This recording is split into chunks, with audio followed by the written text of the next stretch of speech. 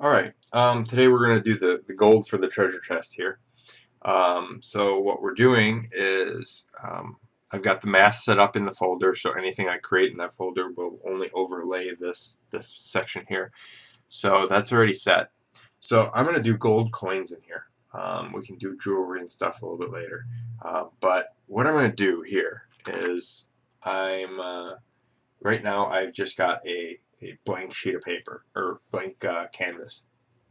I'm going to go with my default colors and I'm actually just going to grab a um, marquee here. I'm going to do an elliptical and then if I hold down shift and I believe it's control so shift and control um, what that does um, will create a perfect circle okay and then I'm just going to go Alt uh, backspace to fill it with black. And then I'm going to swap my colors here by hitting the little arrow. And I'm going to go in the paintbrush. And with my paintbrush, just make sure my paintbrush is the average old everyday circle. Nothing fancy. And we're just going to up the size here. And the first thing that I'm going to do is we are going to Actually, let's do this. Let's do um, select, and we're going to do modify and contract. And we're going to contract this. This is probably pretty big, so we're going to do this by like 50. see how that looks. Oops. Let's do it again. Select, modify, contract. Um, it really depends on what you're doing. I've got a 4,000 uh, pixel wide canvas here, so it doesn't really matter. Um, but, so let's contract by 150. Alright, so it doesn't look perfect, but, um, so we've got this in here. Um, and then um, what I'm going to do is I'm going to go here and do a little bit of transfer, and I'm going to go a little bit bigger, and I'm going to do uh, fuzzy, and I'm just kind of going to roll around here, nothing nothing perfect, nothing doesn't need to be fancy. It's just going to give me um, this aspect here. And then uh, we can actually right click, go back to hardness, lower this, and I'm just going to put a design in there. Doesn't matter again what it is. You know, nothing per, you know, make this perfect type of thing. And then let's do, what we're going to do is we're just going to go marquee here select the marquee as I showed you in the previous video, edit, uh, define brush preset, and this is our brush.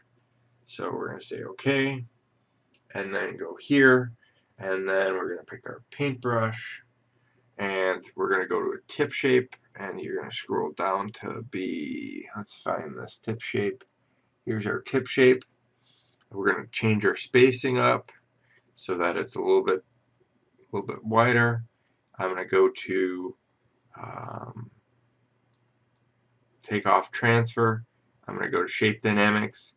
And if you go to shape dynamics you can get your your uh, we're up their angle jitter change their roundness to about halfway. And then it's just a matter of picking the right color. Now don't always go primary. Um, let's do a little bit a little bit darker than primary and let's go here. And above this new layer I'm just going to create a new layer. And let's uh, right now if you look we're at 2000 pixels. Let's move it down to this is about yeah let's go down something like that. And then um, as you can see I can draw and it'll create a kind of coin pattern. Now I'm going to undo this. I'm going to go back to shape dynamics. And I got my angle jitter on. And I want to turn on my scattering. And my scattering is up pretty high, about 7. And I'm on both axes like so. So now, when I paint across, alright, so we can actually tighten this up a little bit and I'm going to just up the scattering so it's a little bit alright so there's my there's my scattering And then um, let's go into layers and let's create a new layer. And I'm just going to go a little bit darker. And we're just going to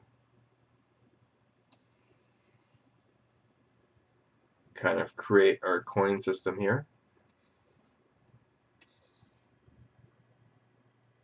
And uh, we're going to do a new layer, go a little bit darker, like so.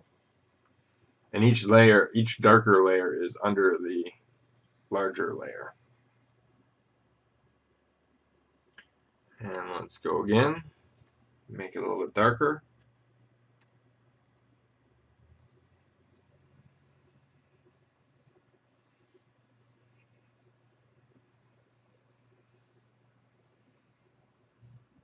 Alright. And then I don't like this particular color, so I'm just going to kind of go to image adjustments, go to hue and saturation.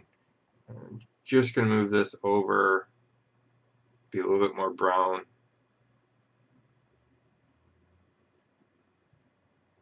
Like so. So now we've got our, our kind of layer. I'm going to go to this top layer. I'm going to go above.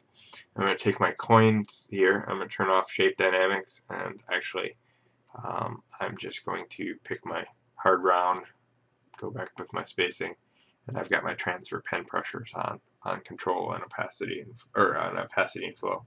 And I'm just going to go down to small and I'm going to pick I'm going to say OK. So now I'm just kind of going in and doing uh, layers so that some of this stuff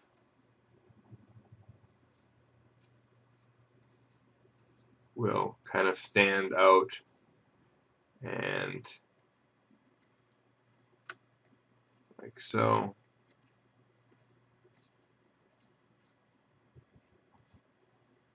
You know, it doesn't have to be perfect, um, but you kind of get the point. What we're doing is we're, we're uh, pretty much just going in here and giving a 3D look to this, the, the coins that we, we have in there. You know, we can do something like this. And all I'm doing is I'm just kind of pushing this in there, giving the, the coins a little bit more feel, texture, kind of adding in um, the, the aspects of you know all the stuff here and and it's just it just boils down to you know put in what you think you know you want type of thing. Um, you know it doesn't have to be uh, perfect in the it's not going to be perfect in the video. Um, but you guys should just spend a little bit more time on it. And um, you know I'm getting the shadows in there. I'm getting you know how it depends really how much detail you want.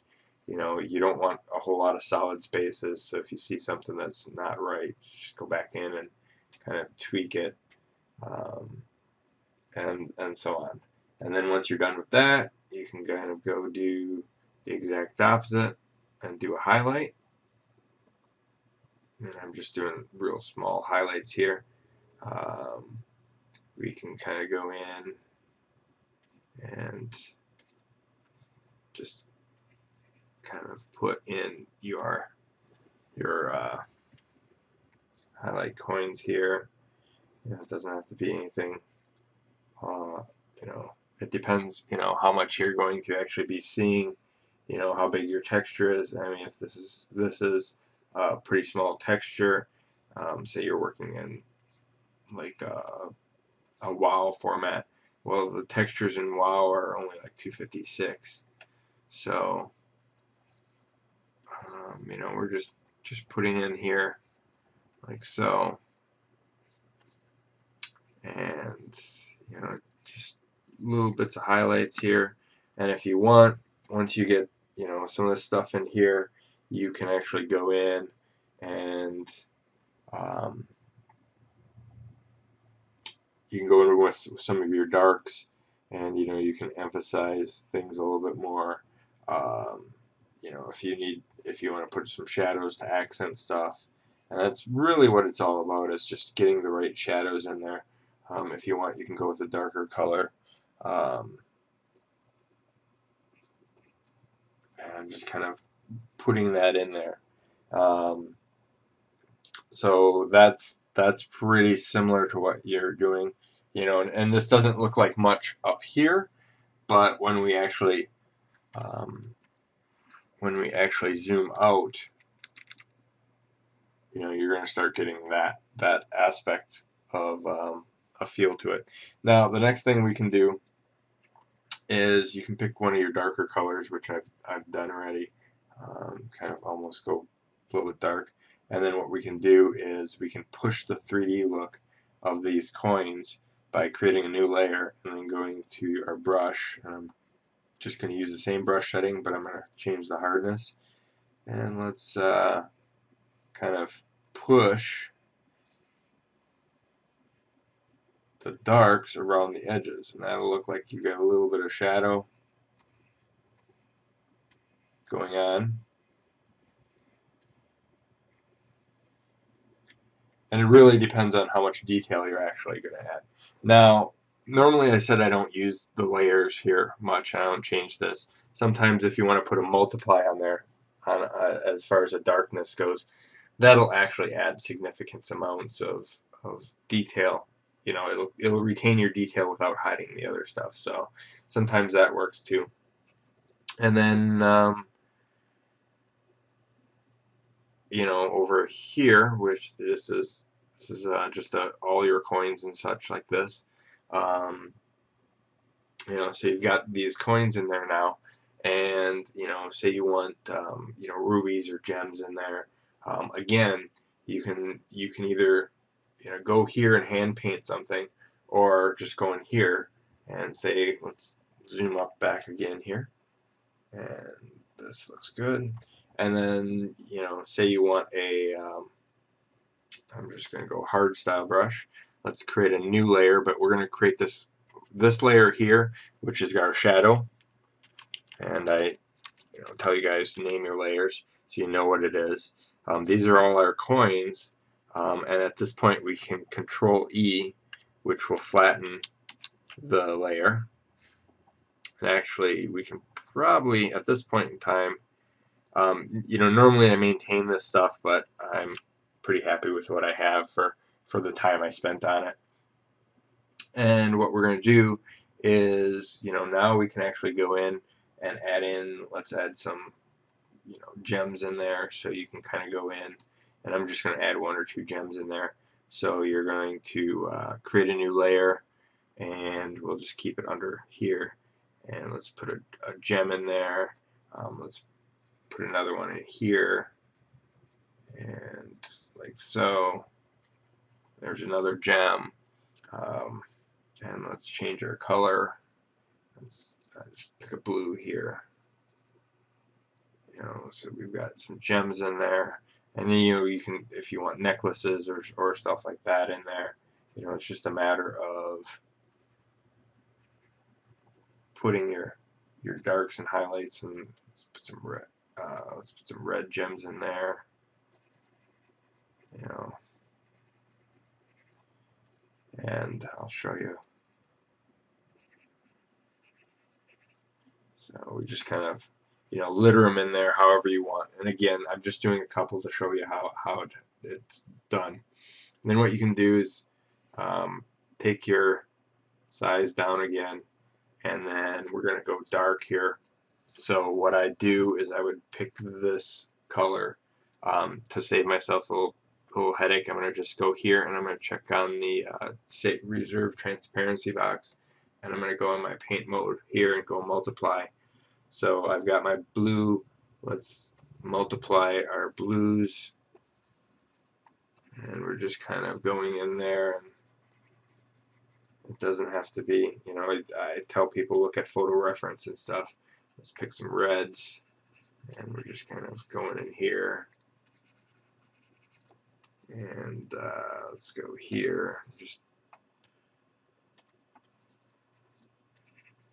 We're going to add some of this in there.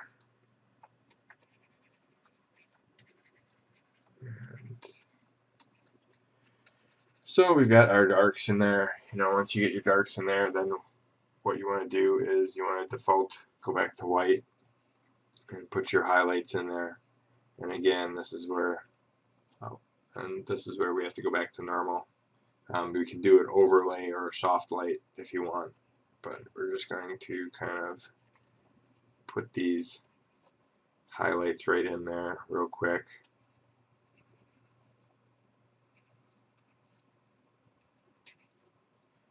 You know, something like so. And now this, again, being so close up, this doesn't look like much. And I'm only using three, three colors um, as a as a uh, light source. So this is a highlight, a uh, so what you've got is you've got your highlight, your shadow, and your your base tone, um, and we can actually go in and add in, you know, as much as we want for detail and such like that.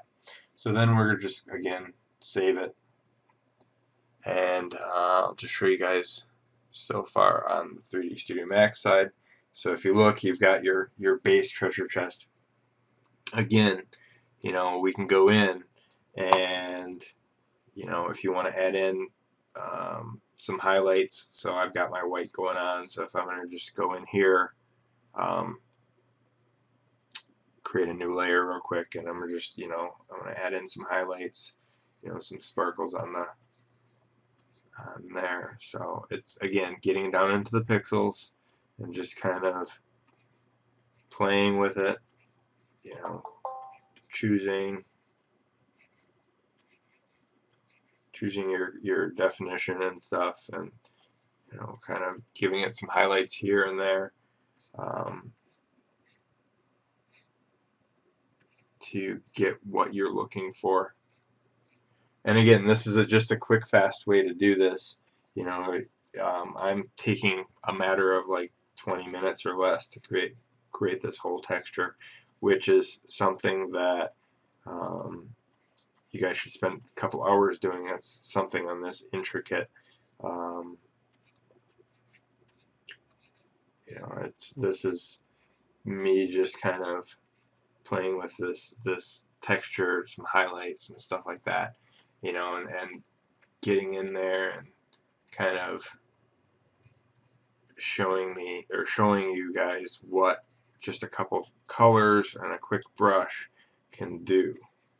You know, so you can go in, and if you want, you can do the opposite too, and add in some, you know, darks in there. And um, um, though I never, which I just did, but don't always don't use your black. Just go to like a dark, um, a darker color, um, not a hundred percent um, because black will pop out, especially on something this bright. Um, just kind of, you know, stuff like this. And then, you know, if you decide that you want something in there, you know,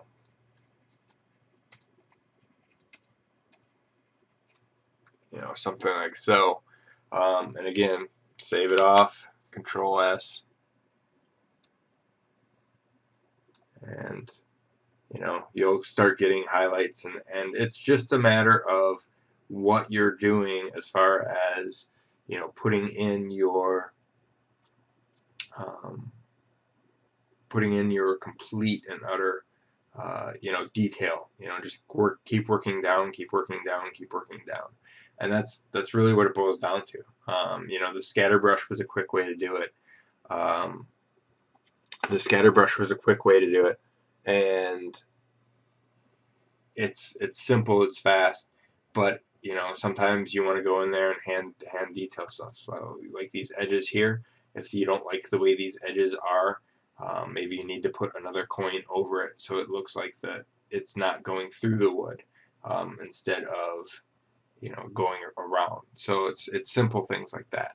So that's basically how to kind of start uh, putting coins and playing with your brushes a little bit.